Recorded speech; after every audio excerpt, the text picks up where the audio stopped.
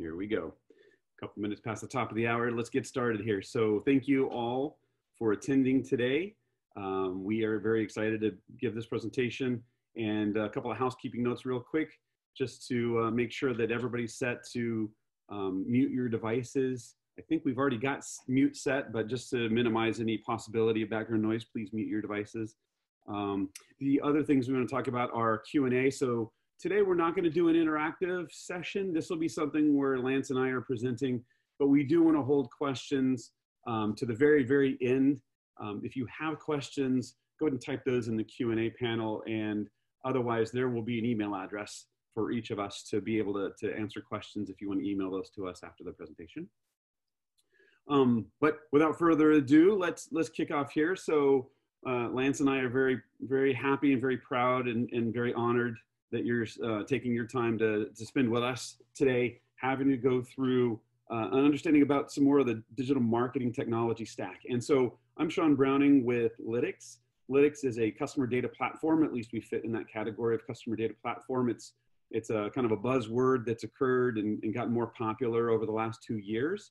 Um, but we're striving for personalization uh, and orchestration um, for you know right time right message type of thing but it really applies to what we have going on with closed loop. So lytics and closed loop are partners. And so i'd also like to introduce lance loveday the ceo of closed loop and uh, give a little bit of background about his experience. Thanks sean.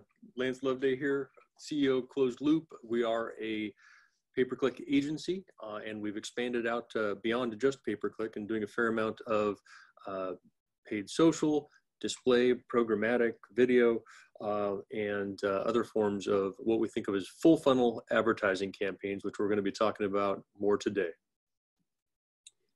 And so let's let's continue on with the idea of personalization. We know that as consumers throughout throughout the globe, um, if, you know, if they see different ads of coupons of offers that they receive for discounts on something they just purchased, it's very frustrating and it also leads to a lot of wasted ad spend, right? And that's the it's the the story that that's been since the beginning of of the web. And so the idea of knowing more about how do we understand the person behind the data, that's where I want to get started because it's moving away from cookies or at least being less dependent upon cookies and understanding more about the person behind the data. And so as Lytics is a type of technology that figures out who the person is across devices, um, all of the activity that occurs, um, be it clicks or views or downloads or registrations or whatever, are being compiled to understand more about the behavior and the activity for that consumer. Because what we're trying to do is get away from understanding clicks and history and getting more into understanding more about intent, the life cycle. Right? What are the patterns and behavior that really help drive the understanding of the relationship for consumers? And so we add a little bit of intelligence to the behavior to really forecast and predict. It leads to good site personalization. We've got some use cases coming um, in a few more clicks. Um, but it leads to a better conversation through advertising, through social media, and so forth. Because when you start with an understanding of, hmm, I don't know who you are, then we crack open with a couple of beginning use cases. An unknown to known challenge. We serve a model. We don't know who you are, but if you tell us more, then we'll go ahead and, and serve you a custom offer or something that you're really interested in. But this really leads to, uh, that's why we're partnering with Closed Loop, improved ad efficiency, increased site conversions, personalized engagement, because we know that engagement drives customer loyalty. With that information, we're pulling in all the different data sources. We want to provide that full 360 degree view of your customer. Um, so we're pulling in offline data, online data, and all these different places to understand who is the person behind the data, where are they located, what content do they have certain affinity with, are they likely to purchase, are they likely to be engaged or not likely to be engaged, and so you'll have a much better picture of who the person is behind the data so you can understand more about their life cycle and predict their patterns and serve them a more personalized experience. Customer data platforms typically do four things. I'm about to show six here in this build, but there's data collection. There's an online and an offline component. There is not beyond the data collection component, there's the part about identity resolution. Who is the person across devices? Understand the information, their attributes, build rule sets off of that. What is their interest? Are they a high, medium, low value consumer or customer? Are they new? Are they returning? Because you want to pivot and you want to change the conversation and personalize that based on the rules and the segmentation that is built. And then you want to get that to the external systems that a consumer might interact with, right? The experience layer. One thing about a customer data platform is should be agnostic, right? There are a number of, of organizations that say, yes, they have a customer data platform, but it only locks you into that particular vendor's stack. We take the opinion and the approach of being agnostic. So we already work with your selections that you've made for your investments in your digital marketing technologies, email, advertising, social media, analytics, and so forth. So for these four things here, these typically make up a customer data platform. However, beyond the typical customer data platform, Lytics is adding a layer of prediction and decisioning on top of that. We have data science already built in. We've had that built in since 2013. We have open capabilities and extensibility so that you can, as a consumer, as a customer, possess your own data. Right? So as we have data and we're processing that dynamically, you can download that, you can process that, and you can also import your own custom algorithms if you would like. We also help with content optimization through web content management, um, social media, mobile, and the like. And there are ways of understanding more about the journeys of how people progress because as we're consuming those journeys and we're boiling down those common denominator variables, then we can predict and we can make recommendations to you and your marketing team about what are good next best steps, what are good next best offers. And that's where we get into your digital stack. What Lytics is doing as a customer data platform, above and beyond any other data platform or customer data platforms are, we're adding the identity resolution and a predictive layer to your digital stack. So if you have offline and online data kind of below the horizon of the dotted red line, you've got data in offline locations, cloud locations, mobile locations, maybe using a tag manager to collect data live and dynamically, then we are able to sit on top of that and anything else you might have, Tableau, Google, um, Microsoft, and so forth. But if we sit on top of that, then we're going to effectively try and be a part of your control tower situation. We can provide the identity resolution, understand who people are.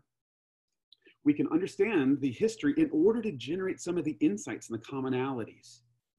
We'll apply data science to score people dynamically in order to then understand what they're likely to do, what is their propensity, are they likely to continue and be loyal, or are they likely to drop off? And so based on that, we can suggest next best experiences. Now, we're not, we're kind of a middleware.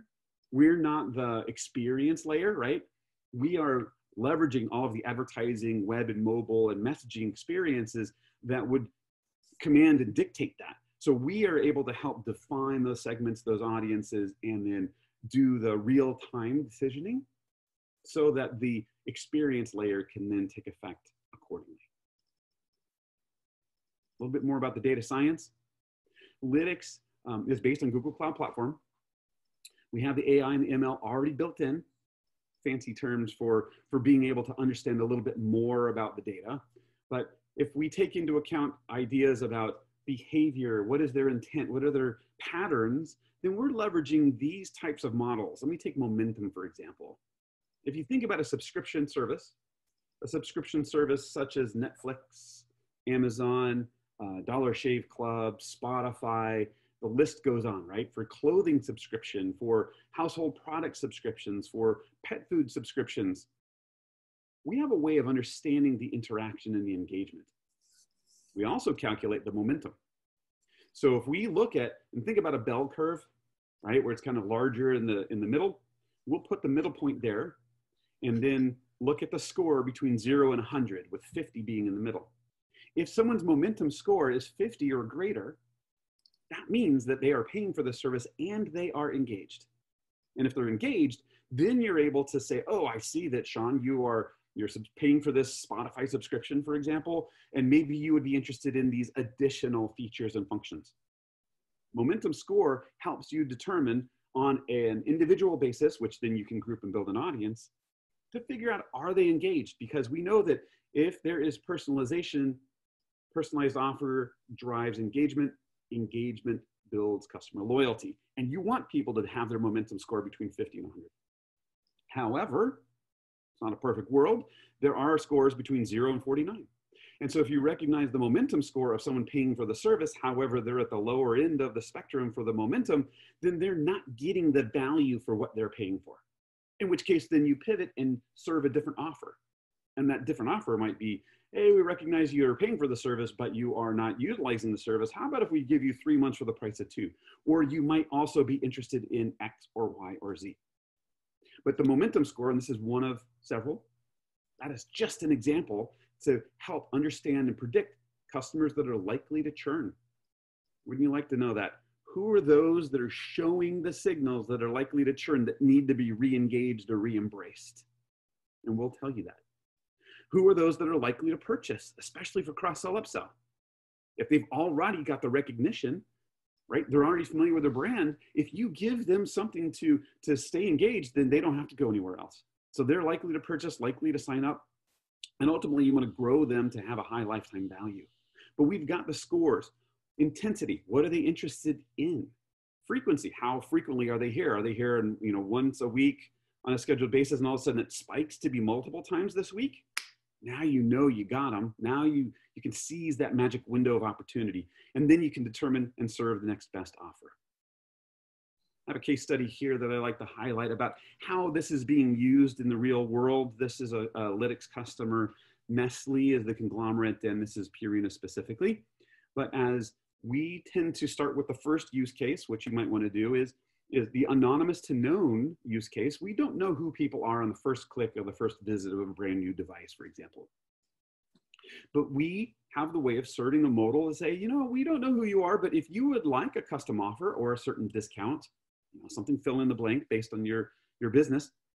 We'll serve that modal. We'll request a little bit of information, a little give get, right? If they give us something, they get something in return, and then we know who they are. So an individual, which whom we might not know, uh, reveals herself to be Karina Velasco.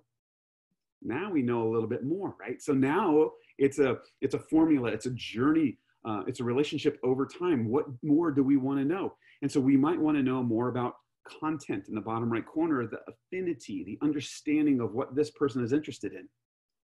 And so what we recognize is the clicking on a website or through mobile content or email or advertising, we're understanding that Rena is interested in dogs, more specifically and appropriately puppies and golden retrievers in particular. Right, and organic dog food. These are these are points of context that we can leverage to be very precise in our personalization. And so when we know more about the content and we put and we position that and pair that with the person, now we have a very compelling exercise about knowing the who and the what. Who Karina is and what she's interested in. It's not it's not cats and birds and snakes and fish. It's puppies, right? And so as we build this on, we'd say, hey, you know, you might want to have um, you know some access to our mobile app. And so so Purina purchased Petfinder as an app, and a business. And so now they're able to engage with the pet's life cycle. But also there is in our, you know, I'm, I'm up in Beaver, Beaverton, Oregon, the land of Nike and Intel and Columbia Sportswear and so forth. And we're on the Pacific coast, just like, um, just like Lance is. And I just want to put a, a, note out there that we are feeling for you for anybody that's affected by the forest fires that are occurring and, and things that are going on. Hope everything turns out well for you. But that relates to kind of the pet finder as people are affected by fires, or maybe there's hurricanes in Florida, there are pets that get displaced, and Pet Finder is a way to, to help find homes for pets. So they could then serve an offer to Karina and say, hey, Karina, we know that you have a puppy. Maybe you have room for one more. And so they know the right time to send, you know, that just right message based on the day and the time that you can see those bubbles there on the graph to know when the right message is to serve the right offer or the right detail so that we can say, oh, Karina's most active between 11 and 12 on weekdays. Great, that's the right time to interact. And we feel, in our opinion, the website the website should be on the same page as well as all of the marketing the content the email and the display advertising right so with a customer data platform especially in a predictive capacity when you know the what and the who you can personalize the content what this organization's found is this is absolutely 100% building customer loyalty when it is time to make that decision you know exactly what decision these people are making so this is very effective. It's very efficient. It is very um, powerful. And these are insights to understand more about the intent, the life cycle, the patterns of users' behavior, to automate. Right? You don't want to put a person at a keyboard to make this occur. We're making this happen in an automated fashion for the next best experience deciding what would be that particular thing to serve to an individual. And the machine learning is continually evaluating all of these details to make custom predictions, generate those insights to deliver a very compelling engagement solution for understanding who is the person, what content are they interested in, and then once they make that purchase or download or subscription, how do we pivot to turn to something else to keep that individual engaged with new content and new offers and so forth. So with Lytics and closed loop, what you get is a unified customer data set. We bring in the offline, we bring in the online. As people are moving through the process of understanding their audience, running that through display advertising, it does bring around full closed loop, right? See what I did there? It does bring around the closed loop situation to bring that back into Lytics to reprocess dynamically to give you those actionable insights, to understand more about the life cycle of your consumer, understand their patterns, and then deliver that across the channel, right? So across your investments that you've already made for your digital marketing stack, we want to make sure that they're all interacting and firing in a uniform capacity. So the cross-channel orchestration is what you get with the power of Lytics and closed loop combined. And from here, there are more particulars and specifics that Lance has that we would like to, to hand over to Lance. So I'm going to stop sharing here and I'll pass it over to you, Lance. Fantastic. Thanks, Sean. My pleasure. Beautiful summary. Um, oh, looks like it's not going to let me share. Uh, got host wow. screen sharing. You want me to flip mine back on? Would you mind? Thanks. Absolutely. Appreciate it, Sean. My pleasure. No, no webinar is complete without a, a technical hangup. Um, if you wouldn't mind driving. Yeah, my pleasure. Let me bring that back up here momentarily. Thanks, Sean. Um, really um, have been a fan of what Lytics has been doing for uh, a while, and uh, you know, for us, um, you know, we work on the more on the advertising side, and and we've faced this conundrum that that Sean talked about. Um, uh, you're not uh, displaying yet. I'm seeing the uh, Catalina Island there. Very good. Three. Um, two. It's locked in uh, full screen mode, and I got to get it out of full screen to then share the property. There we go. Gotcha. Here we go. and I've got, I've got Catalina again. I'm with you. Which is a beautiful place. it is. Um, but we've we've faced this this problem of you know how do we take that that idea of having a known and an unknown audience out there and how do we better target ads to people that we know at least something about. Um, and and that is something we've had to do semi manually over time and we've used things like keywords and we've used some you know basic signals like demographics and so on. Um, and it's it's been um, successful for us but we've been kind of waiting for more ai and machine learning driven segmentation to come along to help power uh, a lot of that targeting capability. All right you're broadcasting. Thanks. Okay fantastic. There we go. Um, um, and and so we're excited to now kind of leverage the best of both worlds in terms of uh, you know the, the, the strategic insights that that we can bring as advertising practitioners with the great machine learning capabilities that a platform like Lytics can bring to bear. And uh, if we can bring those together uh, as we're going to talk about well we're going to be set up for success so by way of background on closed loop again we are a digital advertising agency um, we have worked with a variety of clients, B2C and B2B, uh, some of whom will let us publish uh, some of the metrics that we've driven for them, some of whom won't. Uh, in the lower right there, uh, some of the, the more recognizable brands are a little more skittish uh, about letting us share results. Um, but uh, I share this not to beat our own chest, but to demonstrate that we have been around for quite a while um, and, and hopefully to express that we at least have some idea of what we're doing and that we're, we're working with major brands and driving pretty high levels of growth for what are already in most cases pretty mature campaigns. And i'm going to talk about you know how we're able to to do that uh, coming up here.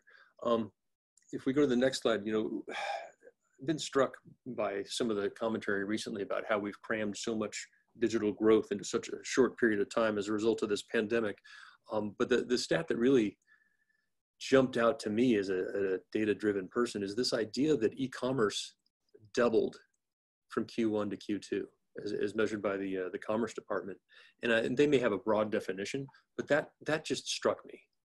The idea that e-commerce doubled quarter over quarter, right. holy cow!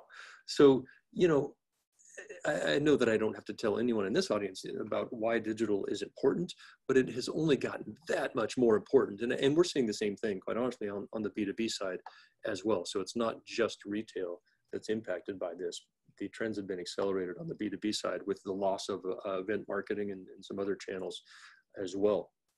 So the, the key theme, if we go to the next slide, is that I want to leave you with is that audience targeting in 2020 is kind of where keyword targeting and you know paid search was in 2004 right? It was this new unproven thing. People weren't sure this was going to really have legs you know and since then it's kind of you know eaten the advertising industry. And you know to the point where it's it's kind of peaked arguably and now we're looking for that next form of targeting. And and i'm here to tell you that that audience targeting is it. And uh, it's it's pretty exciting. Um, so if audience targeting is the thing the way that we're going to target ads strategically from this point forward um, next slide. Um, you know i, I want to leave you with the the message too that you you can now deploy full funnel ad campaigns and you can leverage your first party data you know from lytics for example to power a lot of these things. So what, what does that look like? Well we actually uh, did an audit for uh, a client this week um, or a prospective client and we got under the hood with their campaigns. And everyone's talking about this audience targeting but we're still shocked at how few people are actually doing it. And so uh, we, we, if we look at the next slide, look at what forms of audience targeting was this client? And this is a sophisticated Silicon Valley unicorn client, and they were only doing two of these forms of audience targeting that you can do across, uh, you know, if we think about these, this full funnel ad strategy. And they were kind of surprised themselves because you know they thought they were doing pretty well at it but when we looked under the hood the, the reality was was far different and i think this is representative of most advertisers even more sophisticated advertisers uh, which is somewhat surprising but it i think speaks to the opportunity that's available to those who that are are willing to really jump in and take advantage of this because it really is kind of a greenfield opportunity now and i'm going to get um, i'm going to show you some specifics of how to, to leverage some of these capabilities uh, coming up here but um, oh, we got the mind mill going. Beautiful, Sean.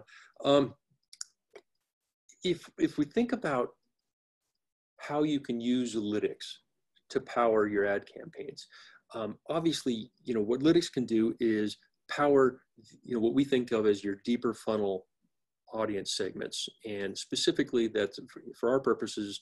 Uh, on, on Google, for example, it's similar audiences and remarketing. Lytics will create automatic segments powered by their AI to populate those for you. And they'll keep them automatically, those lists, they'll keep those lists uh, populated for you automatically. It's freaking brilliant. Like I said, we've been waiting for this uh, and we're so excited that it's here now. And what we realized is that we could actually do a lot more with that if we took this full funnel approach. And so if, uh, if we go to the next slide, what we thought about was, you know, what if we could use those segments and extract the intelligence from those and analyze it to help power our mid funnel and top of funnel campaigns. And, and beyond that, what if we could find the correlations between these different types of targeting and, and then the correlations to high value leads as well? And to do that, you've got to have uh, another technology layer. Uh, and we've built one, we call it Forager. If we go to the next slide, if you think of uh, obviously, as your, your customer data platform, can think of uh, this layer as being kind of an advertising data platform. But it integrates with Lytics uh, and other systems, um, but it's, it's more ad centric. And so, what we have built with this Forager tool is a platform that pulls data in from all of the ad platforms. Uh, if we go to the next slide, we normalize it so that we can do cross-platform analysis. Very importantly, blend it with your backend data. That is Lytics, your, your CDP and your CRM, maybe your lead scoring data. And then we export it to a business intelligence tool. We, we like to use Tableau. You can use whatever tool you want. Um, and at that point, you've got full funnel visibility into how all of your paid channels are performing. And it's incredibly powerful to have that if we go to the next slide, you know, we then have the best of all worlds because we get to power, we, we control the data sources, we've got more and more granular data than most advertisers have. And we've got this really powerful BI tool to run custom queries and analysis uh, against so that we can understand correlations at a deeper level than most advertisers can. If we go to the next slide, um, what it really enables is the ability to find where the most valuable traffic is. And what we're finding is that the most valuable traffic from an ad perspective is coming now in the intersections between these different forms of targeting. And what we do with foragers, we suss that out and we find these veins and then we really aim to improve the economics for those rich veins. And when we do that, that allows us to expand out into the adjacent opportunity space, which we show in the next slide. And so what we find is that that adjacent opportunity space that gets opened up when we refine the economics is sometimes even bigger than that initial vein that we uncover. And, that, and that's kind of how we rationalize how we can grow lead or sales volume and improve ROI at the same time, because those things usually are are, are in conflict, right? It's, there's usually a trade-off between volume and ROI. What we're finding is when you really play this game smart, you don't have to make that trade-off and you, you can actually kind of defy the laws of economics. So let me make that real for you. Uh, if we go to the next slide and, and we think about a full funnel advertising strategy, uh, and, and, we're going to make this specific to Google, for example. We talked, you know, at the bottom of the funnel down there about how you can use Lytics to power your similar audience and remarketing campaigns at the bottom of the funnel. We wanted to work backwards and say, all right, well, what can we learn from those segments that Lytics created for us that could power our upper funnel campaigns? And so in the case of Google, they've got in-market targeting. They've got custom interest, affinity segment targeting, and then at the, at the highest level, demographic. And when you do that, when you power your campaigns with this and uh, form of audience targeting, now all of a sudden you're weighting your spend to audiences that you do know at least something about. And, and the impact of that is huge. But again, few people are doing it. So uh, let me go a level deeper, make this totally real for you. Uh, if we go to the next slide, you know, this is a screenshot from the, the Google Ads interface of what the in-market audiences look like. And I want to move up the funnel here. So step one, we're starting with in-market audiences. Uh, and these are audiences that Google has created on their own. Um, and you can see some examples reflected here. And they'll show you for your own campaigns how these audiences index for you. And if they index highly, great, that's good intel for you to know. It shows you the audience size. And then you've got what you can do is enable those audiences and you put them in what they call uh, observation mode. So all you have to do literally is check the box at this point and hit OK and Google will start amassing performance data on how these audiences perform for you. It's, it's freaking brilliant. It costs you nothing, but you do have to enable it. So that's step one, set up these in-market audiences. Those are people who are already raising their hand via their behavior and all the signals that Google is able to pick up and parse are already saying they might be in market for these different products or services.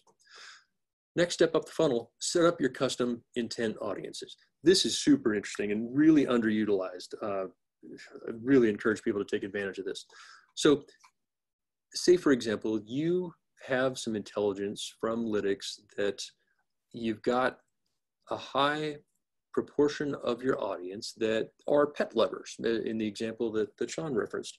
Well, you can create a, a custom segment for pet lovers here and say, all right, I want to uh, target my ads to people who search, uh, who visited maybe these other sites, websites that are representative of people who are you know, really into their pets, or maybe they searched on given keywords in, the, in their search history that indicate that they are pet lovers. You can, and, and it, I mean, that's just one example. We, in some cases, have created tens or, or hundreds of custom segments uh, using this tool, and it's it's tremendously valuable. And we were able to come up with the ideas in the segmentation scheme, leveraging the data from Lytics and the segments that they created. So that's the next one. Set up your custom intent audiences. Step three, these affinity audiences. Next step up the funnel. These again are pre-built audiences that Google has created. They'll show you the same info um, as to how you're indexing uh, as they do for the in-market audiences. Um, and all you have to do is check the box again and add it and you'll start getting performance data on those things. Um, this is just, you know, broad categories, uh, but can be very, very helpful. Um, step four, then, this is when it gets fun, is when you start looking at, you start amassing that performance data and starting to compare how these different audiences perform over time. You, in this example, you might look at the, the second to last column, the cost per conversion column, and, and you might be surprised at the variance in performance, one audience to the next, if that's your, your metric, right? You've got a huge range here from 15 bucks to you know, $180 cost per lead. So now that you've got statistically significant data coming in on how these audiences perform, now it gets really interesting. You go to step five here, now you have the ability to apply bid modifiers and bid up or down audience by audience based on the value that that audience drives for you. It's, uh, it's just game changing. And so in this example, you know, someone who visits the all product page, it's a remarketing audience, um, based on their behavior, we're going to bid up 35% and apply that to all of our ad groups uh, that we had to gray out here for the confidentiality for this client. Um, whereas uh, a, a uh, an affinity audience, um, people who are employed by the healthcare industry, we're going to bid up 27%. You take that same thought process, you apply it to every audience, and you start weighting your spend to where you're seeing value. And it changes your ROI and your, your results from these campaigns dramatically to do that. Um, if uh, if we go to the next slide, I'll give you a tip on this. What's really cool is is if you, there are likely to be audiences that are not valuable to you as well, and you do have the opportunity to completely exclude those audiences. And the, the way you do it is you apply a, a negative 100% bid modifier for those audiences that are not driving value for you. And, and what's super cool is you can do that even if you're using Google's smart bidding, that is their machine learning based uh, bidding mechanism. Um, so it's, you truly can have the best of all worlds. You can use you know, this highly sophisticated machine learning based um, bid algorithms on the one hand, and you can carve out audiences that are less valuable to you. Um, where does that come in handy? Well, you might be targeting a B2B audience and who and you might have a lot of keywords that you want to target, but that are also used a lot by consumers. And you want to minus out all the, that consumer traffic, this is one way you can do it. Uh, it's, it's just game changing. It allows you to bid on head terms that otherwise might soak up all your budget, um, driving poor quality traffic. Now you can X all that out and weight your budget to where you truly are seeing value. It's, it's just, it's a big deal. It's almost totally underutilized uh, and, and it's just been game changing for us. So that's super pro tip one. Number two on the next slide is each of these audiences has an ID associated with it that uh, Google designates, and you can actually pass that through as a parameter through to your CRM and your CDP and associate that with the customer record so that now you're you're actually able to tell what audience Google is putting that user into as well to you know give you that much more of a fully fleshed out view of them. And then from for our you know selfish purposes from an ad management perspective we're able to do full funnel optimization based on that as well. And we can start to bid and weight budget to traffic sources that are not just driving a lower cost per lead but a lower mql lower sql and, and ultimately hopefully to lifetime value. Um, game changing, really, really significant. Um, and the way that, that that looks, you know, you've got to stitch all the data streams together. Um, you pass these parameters through sometimes in, in just in the URL itself, and then it gets associated with the customer record, uh, in this example in Salesforce, and then that would flow through to the, the CDP uh, as well. Um, totally doable, something we do for all of our clients now is it's kind of foundational to our ability to be successful, um, but little little bit geeky. Um, but we're we're we, we're continually surprised how few people have had the discipline to actually do this, um, even though it's a big deal. So once you do all that, what do the results look like? On the next slide, here's a case study, um, and we I was just so pleasantly surprised that the way that the cost per lead metric came out actually mapped to exactly what we would have expected. The real world almost never works the way you expect it to, right? the way it should academically. But in this case, the audience performance uh, mapped to the funnel almost perfectly. Um, and that was a really validating sign for us by itself. More significantly, we actually drove the cost per acquisition cost down. And we, in terms of traffic quality, we more than doubled the conversion rate from the traffic that we were getting from this campaign. From and we did that by layering on these forms of audience targeting on top of our existing Google campaigns. Um, just just totally game changing, uh, as I talked about. Um, so that's one hopefully very specific example of how you can leverage the unique targeting capabilities in Google to layer on this audience targeting you can do that for other channels, but they're structured differently. And so on the next slide, you know, we, we show you how you how you we think about doing that for Facebook, and we take a similar approach for the other platforms. But th those are the big two uh, for most of our clients.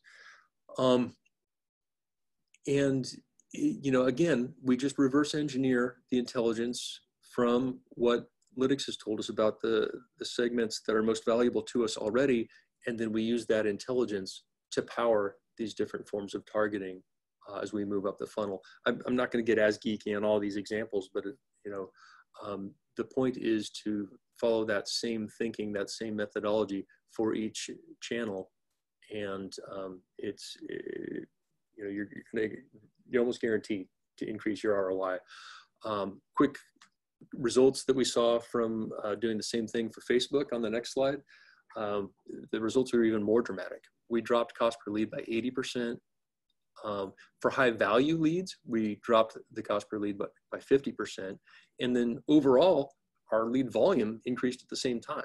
Again, you shouldn't be able to do that. but, but when you're really playing this game smart, you can. It's representative of, of really what's possible out there.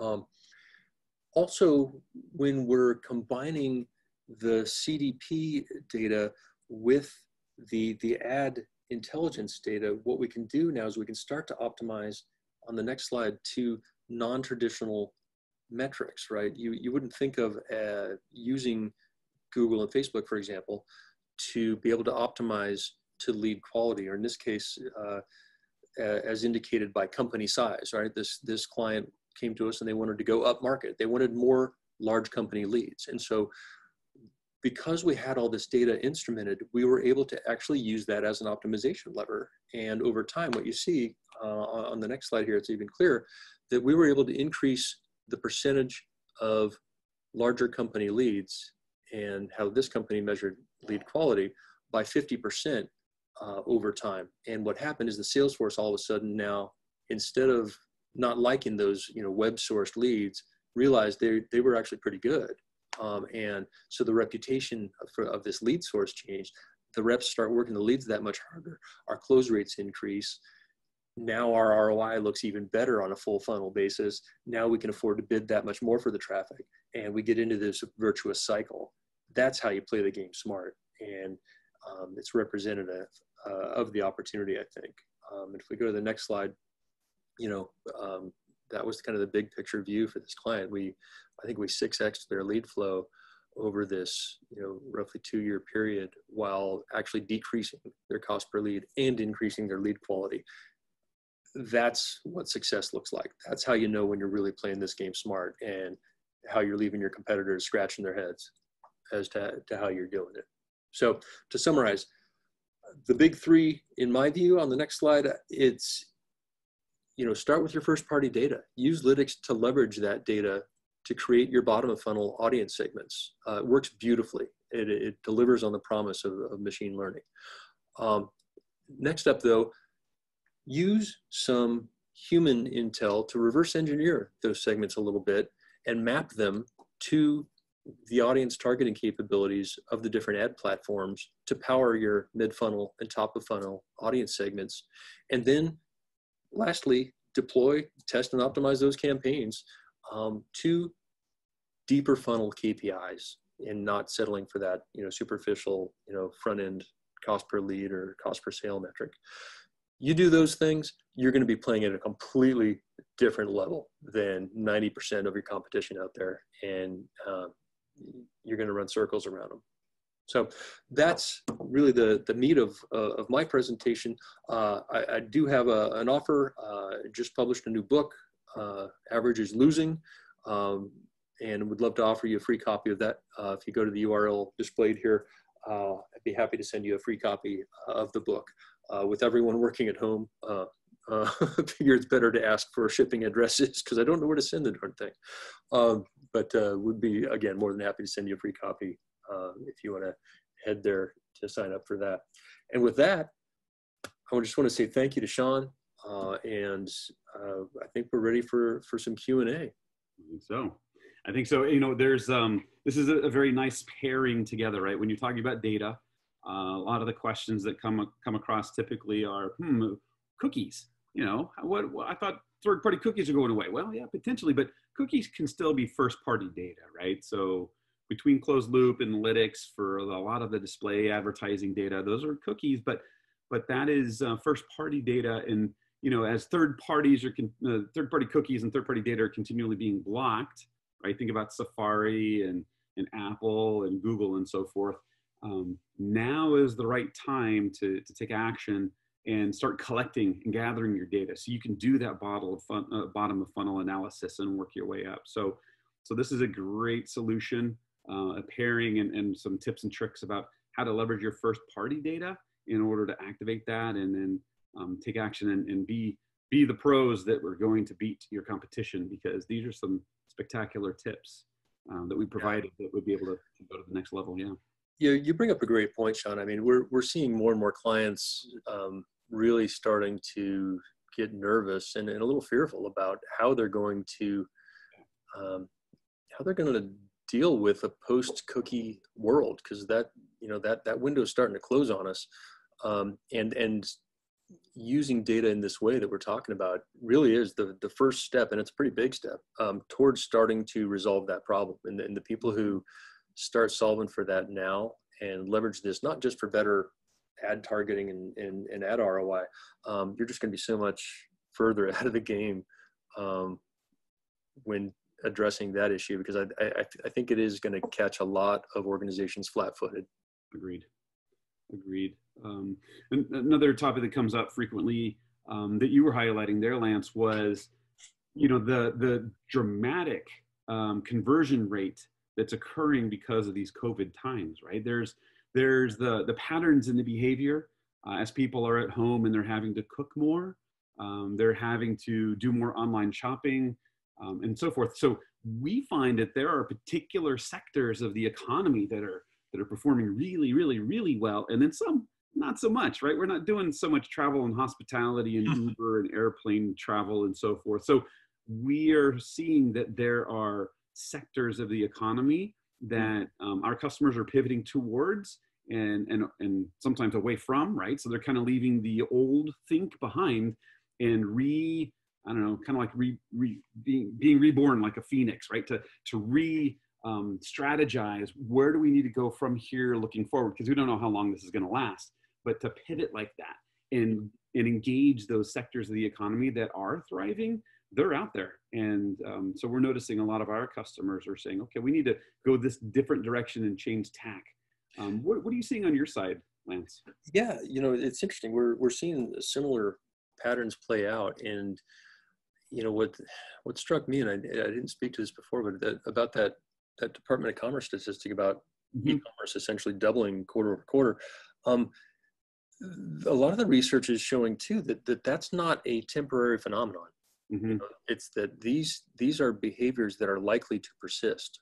Um, you know, uh, I think it was 73% of people plan to keep doing things the same way, even once this pandemic comes to an end, right? So, um, this is a very real shift on the part of, I, I think, not just consumer behavior, uh, but I think on, on, on business behavior too.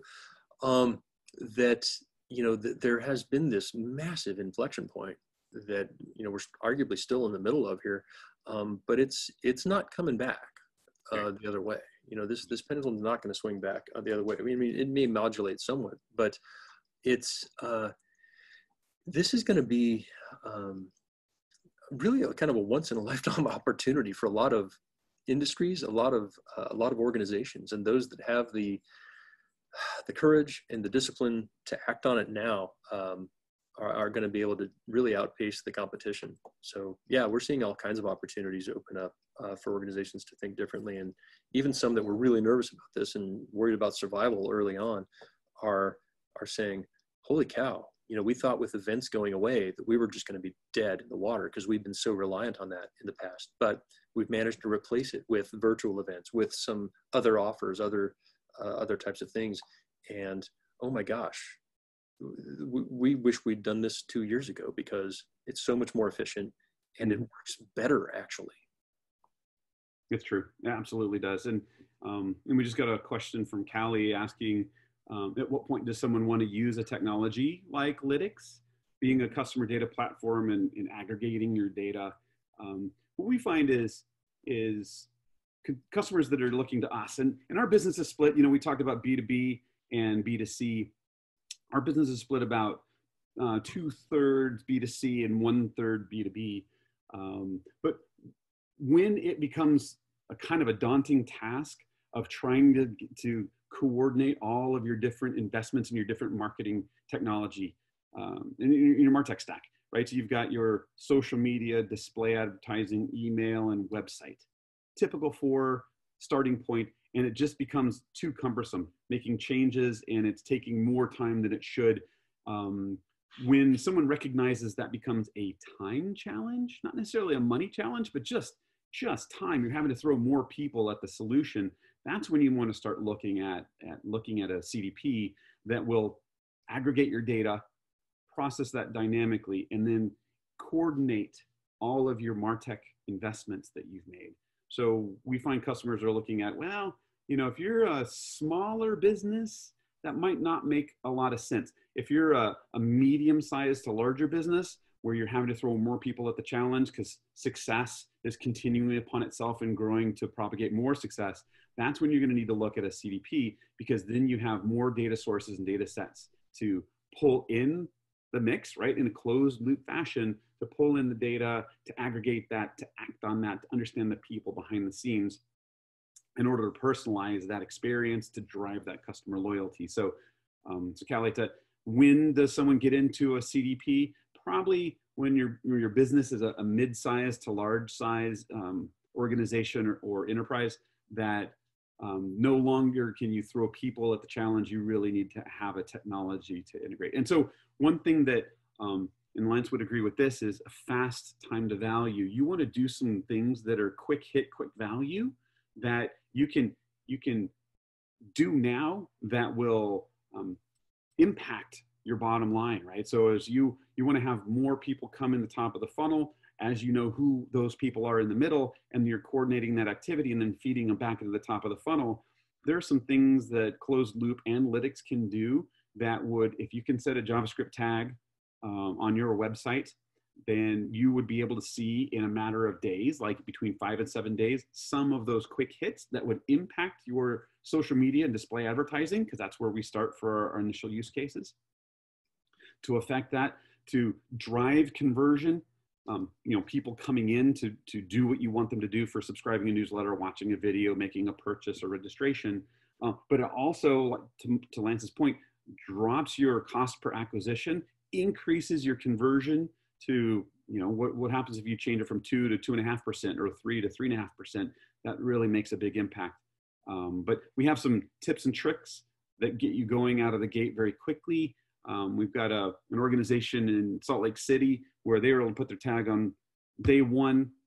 We saw results in seven days, and they had ad suppression and personalization targeting within 21 days. Um, and they were seeing some dramatic increases in revenue and conversion that um, might not be typical, however, does kind of highlight the fast time to value. We can move as fast as customers can move um, to really drive success. So I wanted to highlight that. But yeah, mid-size to enterprise would be the right size for someone looking for a CDP. Follow-up question for you, Sean. I mean, how do you guys address clients that you know really have more of an ABM focus? You know, mm-hmm. um, I, I, know it's it's doable, but it's it, has got to have some unique components for you. It really does. You know, I know what we do on the ad side, but I'm curious how, how you address it from a CDP perspective we are looking for people, but rolling them up into their organization. So for account-based marketing, um, you know, we we have customers. Tableau is a customer, interestingly enough. Uh, Atlassian. There are a number of of businesses that are targeting other businesses or other accounts. And what we're doing is we're associating and understanding who those individuals are by their their email addresses, right? Atlytics.com, at closedloop.com and we're associating those individuals so that when we wanted to target an, uh, an account then we can get into the data and then understand who are those people in that account so that we can target those people through linkedin or through facebook or through uh, google advertising. So you can't target an organization necessarily but you could target the people in the organization. So for account-based marketing we do a couple of things. First is we've got an identity graph that does an account roll up of who the people are in their account um, so that we can say, target that account, give me all of the people underneath of that. We want to make sure all the data we provide is open and, and obtainable. And then secondarily, we've got that roll up capability. So um, you can see who those people are. You can drill into that information and expand each organization, each account, and see the people that are inside of that. So you can then target those individuals appropriately. Got it. Okay. Yeah, that makes sense. And then, you know, if we're doing our job from an ABM advertising perspective, you know, we're especially leveraging, say, LinkedIn to target the those same people that work at those accounts. We can uh, turn them from known to unknown by driving traffic, you know, to the site, and and then once they do, you know, they're gonna they're gonna show up in Lytics, and and we'll we'll take them from from unknown to known associated with that organization um, for for remarketing purposes from that point on. Exactly. Exactly. And then and then with that understanding, you know, it's an ongoing journey. You're not going to know everything just in the first minute or the first hour, but over time as we have this relationship with these organizations, these accounts or these these individuals, this information, this history, we're not an analytics tool that's trying to derive history and account for the history, but we're using it to to understand more about the intent of those consumers or that account or the, where they are in their life cycle and what are the patterns in behavior so that we can really start forecasting where we want to be. Like Gretzky used to say, you're going to skate where the hockey puck is going to be. Mhm. and um, and then you can really uh, take action appropriately. So, Brilliant. All right. Well, I think we're about coming up on time. Um, Yep, we're out of questions as well. So um, as a follow-up, anybody that's got uh, questions for Lance over at Closed Loop, you see his email address below. Any questions you might have for CDP, for Lytics particularly, please reach out to me. There's my email address there on the screen. And uh, really wanted to thank everybody on the line for taking your time to spend with us today to understand more about particulars of, of what you need to do for display advertising and how you work at the bottom of the funnel, apply that to top of funnel and, and build that closed loop. Very nice. Thank you, everybody. Thank you, Lance. This has been fun. We'll have to do this again. I look forward to it. Thank you, Sean. Been an absolute pleasure. And thanks to everyone for attending. Take care, all. Thanks all.